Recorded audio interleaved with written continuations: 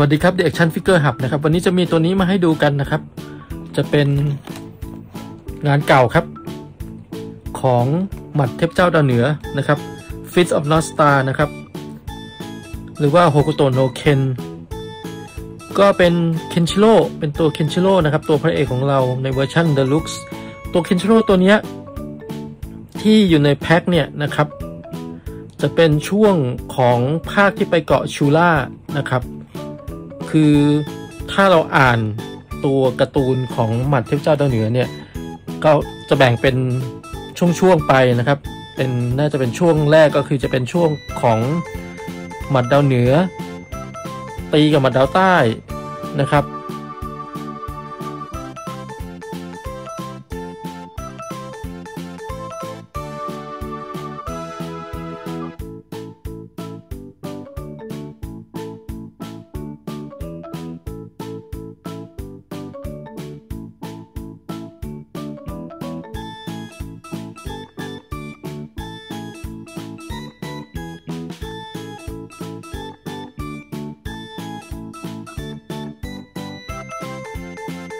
แล้วก็มาช่วง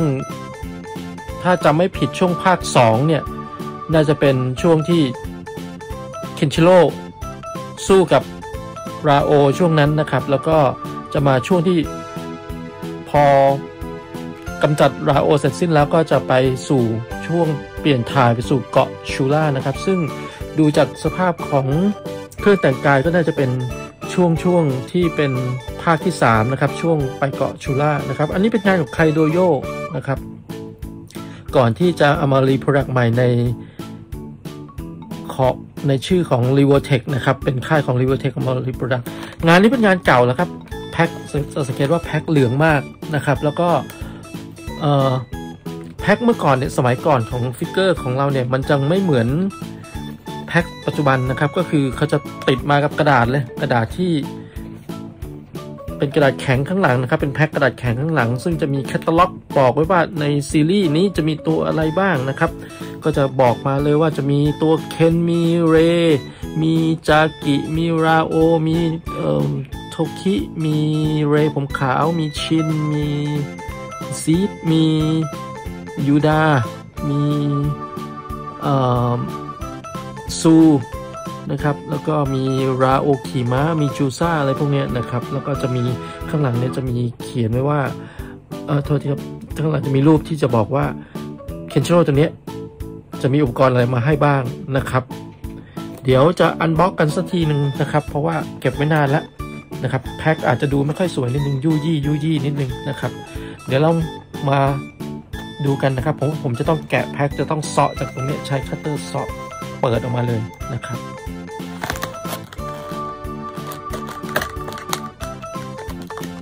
ครับก็เอาออกมาแล้วนะครับ มันก็จะในถาดก็จะมีประมาณนี้นะครับ ผมจะ เอาออกมาให้ดูนะครับ จะเป็นชั้นในถาดก็เป็นอย่างนี้นะครับ มีตัวเคนชิโร่นอนมาในถาดนะครับ ก็ในถาดนะครับ เมื่อกี้ผมเอามาจับอีกทีนึงแล้วนะครับ ก็จะเป็นอย่างนี้นะครับ อันเนี้ยพลาสติกตัวนี้จะติดตรงนี้มา แต่ว่าเมื่อกี้พอดึงถาดออกมาเนี่ยนะครับ ถาดก็คือจะเป็นอย่างนี้นะครับผมแกะถาดมาเปิดออกมาแล้วจะมีคู่มือมาตรงนี้นะครับ มีคู่มือมา ก็คือบอกให้รู้แล้วว่าตัวเนี้ยเวลาที่จะเล่นเนี่ยจะประกอบเป็น อะไรยังไงได้บ้างนะครับ มีเสื้อมาให้ใส่แยกหรือว่าจะมีใส่เป็นเหมือนเกราะเปล่า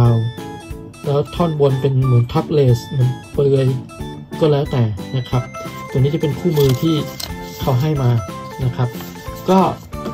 เดี๋ยวเราจะเอาตัวนี้ออกมากันนะครับ ก็คือตัวนี้จะเป็นถาปิดอุปกรณ์ก็จะมีประมาณนี้ครับ มีชุดเกราะ มีตัวเหมือนอาวุธของเขาอะที่คล้ายๆของคนไทยหน่อยๆนะครับ เป็นเหมือนถ้าจะไม่ผิดเขนหรือยังไงเลยนะครับ กระบองสองท่อนนะครับ นักช็อตนะครับนี่ติดตัวสกอตเทปมาใสๆนะครับ เดี๋ยวผมต้องมานั่งแกะอีกทีหนึ่งนะครับ ตัวนี้ก็เป็น เกราะของเคนชิโร่นะครับ เป็นเกราะเปลือยๆนะครับ มือมีมาให้ 1 2 3 4 5 6 คู่ รวมที่ตัวของเคนชิโร่ด้วยเป็นหนึ่งสองสามเป็นสี่คู่นะครับ แล้วก็ด้านนี้ก็จะเป็นชุดเกราะเป็นเหนียวแล้วนะครับ เพราะงานค่อนข้างนานแล้วนะครับ เป็น เครื่องแต่งกายของคินชิโร่นะครับอาจจะมีรอยด่างบ้างบ้างนะครับ ก็ขออภัยด้วยเพราะงานนานล้ว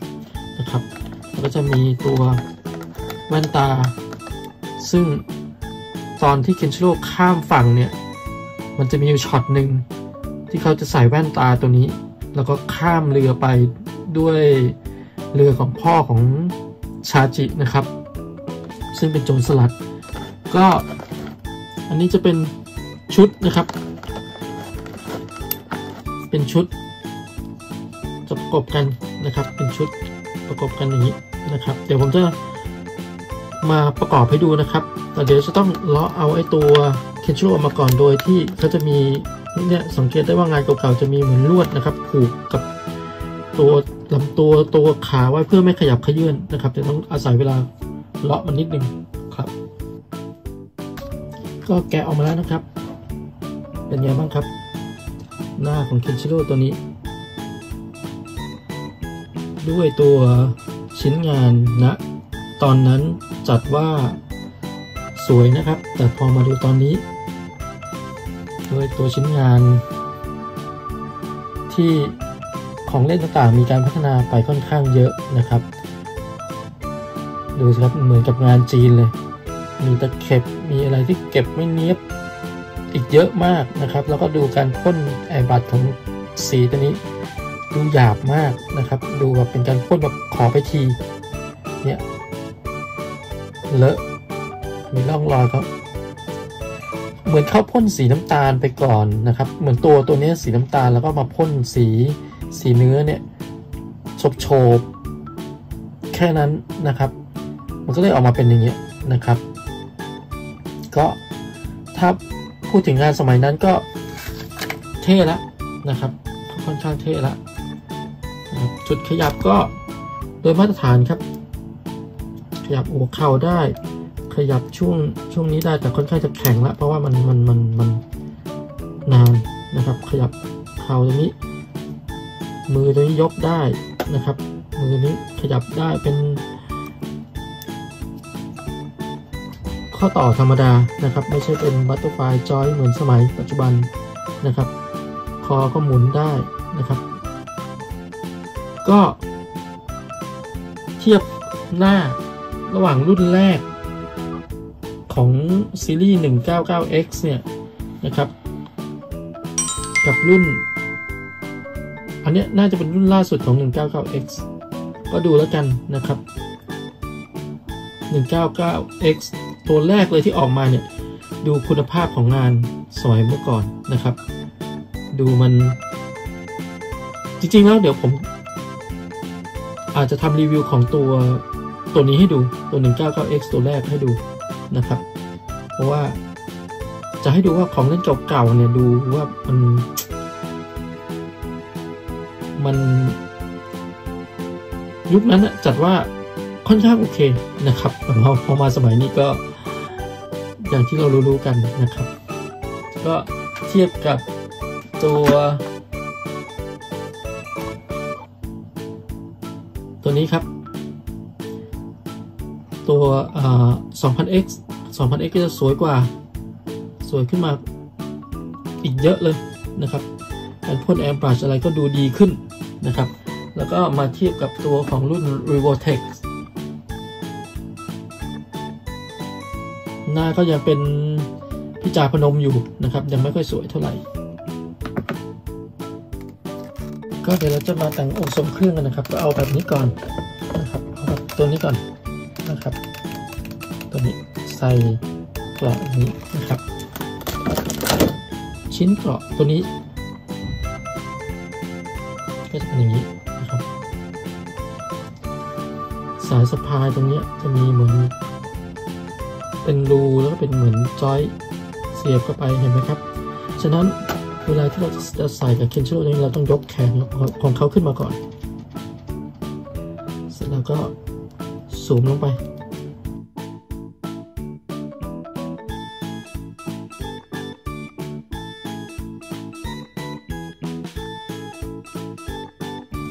อะบนสวมเสื้อครับ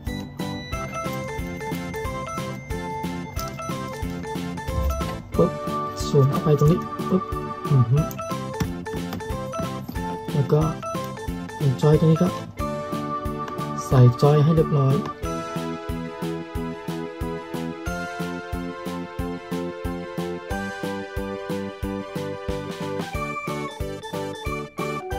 ตรงจอยตรงนี้จะใส่ยากนิดนึงนะครับ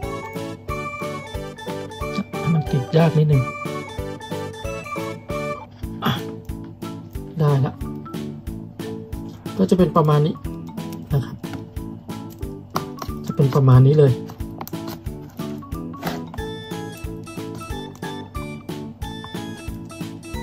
ตัวเคนชโร่ของเรา จัดทรงมันอีกสักนิดนึงไม่เป็นไรจอยหลุดตรงนี้ก่อนไม่เป็นไรช่างมันให้มันรู้ว่า พอรู้ว่าเป็นประมาณนี้นะครับ เทียบกับหลังกล่องอะใกล้เคียงประมาณนี้นะครับ ครับก็เมื่อกี้ผมลองไปขยับนะครับลองไป adjust มันดูก็ จะออกมาเท่ๆประมาณนี้นะครับ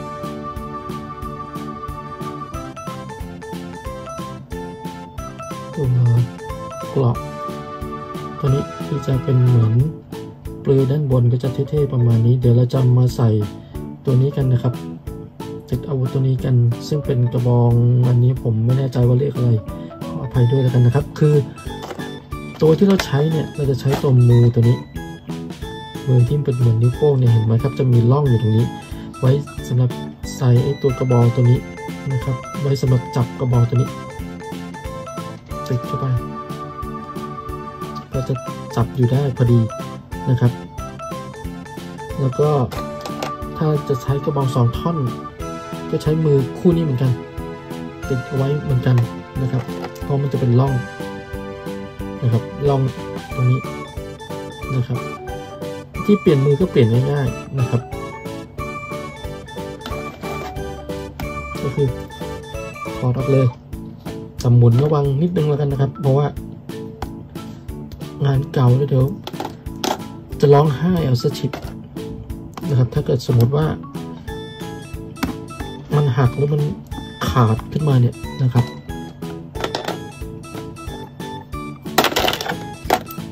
ก็จะใส่มือเข้าไปก่อน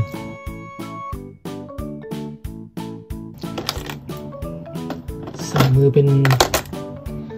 มืออย่างนี้เข้าไปก่อนอะใส่ไม่ยากนะครับ ก็ กระบอง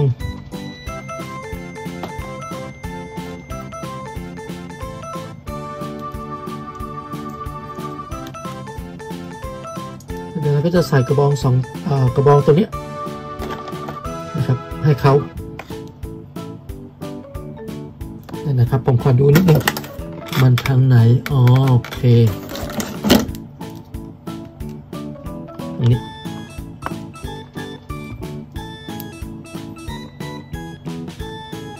ติดเข้าไป อะเท่ซะแล้วนะครับ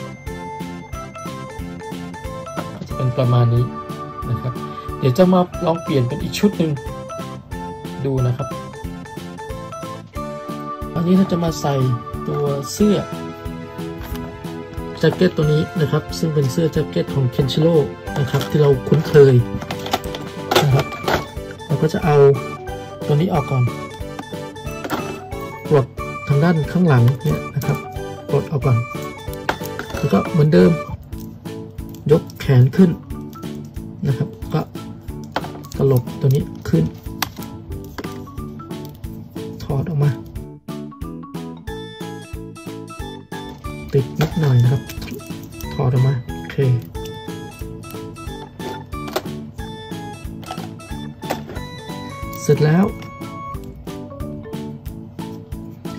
ตัวนี้จะง่ายๆนะครับ ข้างหน้าก็คือตัวแจ็คเก็ตตัวนี้ก็ใส่ครอบเข้าไป ข้างหลัง จะสังเกตได้ว่ามันจะมีเดือยที่มันชนกันอยู่นะครับ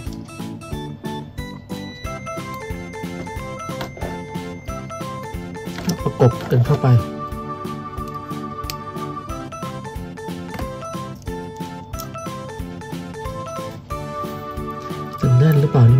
นี่ไม่แน่ใจนะครับ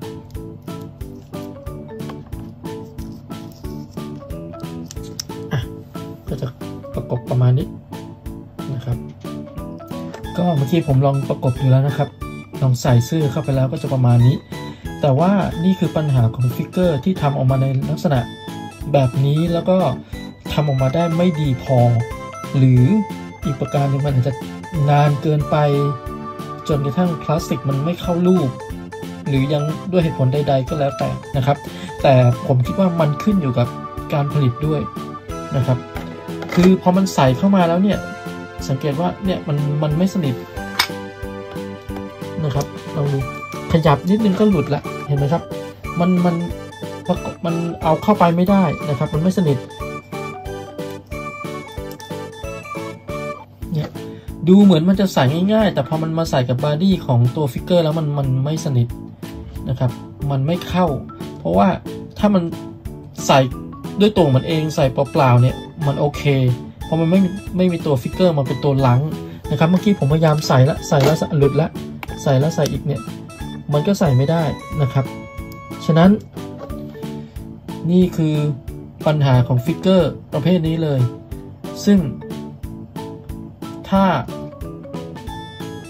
ถามผมผมให้สอบตกนะครับฟิกเกอร์ตัวนี้ ก็จะออกมาประมาณนี้นะครับ ผมต้องใช้มือประคองผ้าสีแดงเนี่ยของผ้าสีแดงเนี่ยเมื่อเออหลุดอีกแล้วนะครับ คือต้องใช้นิ้วเนี่ย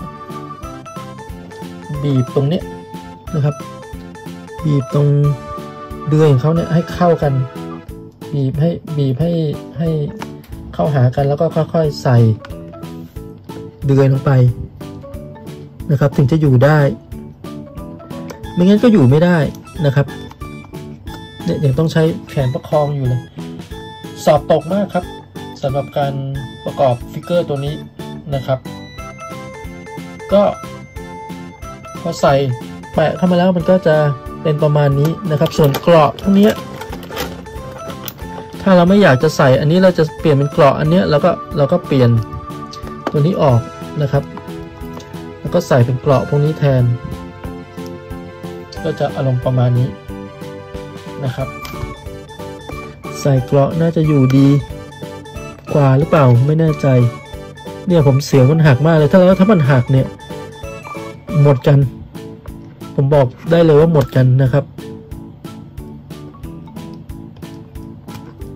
อะเนี่ยก็จะประมาณนี้นะครับแต่ว่าหลุดง่ายแน่นอนขยับอะไรไม่ได้เลย เพราะถ้าขยับปุ๊บกล้ามของฟิกเกอร์นี้ก็จะติดตัวนี้ก็จะถังตัวนี้ออกนะครับ ก็